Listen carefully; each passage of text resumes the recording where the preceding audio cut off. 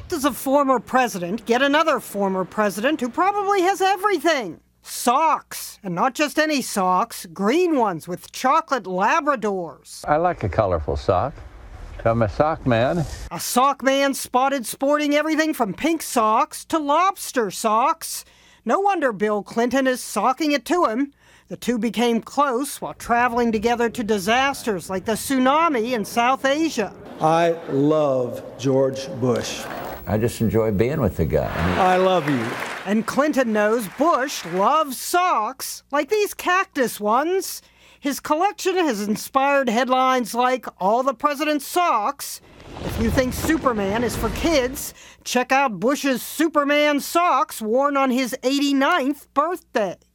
His Presidential Library Foundation asked folks to send in their own flamboyant sock photos in honor of his birthday. Read my lips, no boring socks, tweeted one guy. If you donate to the GOP, you can get an autographed pair. Gear up for fall with your very own pair of George H.W. Bush socks. George W. Bush is more conservative with his Crocs and socks bearing the presidential seal.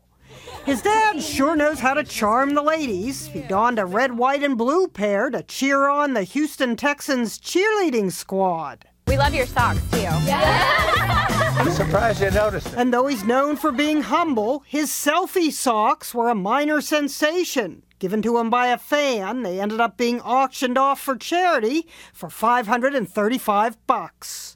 But those Bush selfie socks don't quite have the flair of the Trump hair socks. Selling for $35.69 at Walmart, but be prepared to not just wash, but comb your socks. Jeanne Moos, CNN, New York.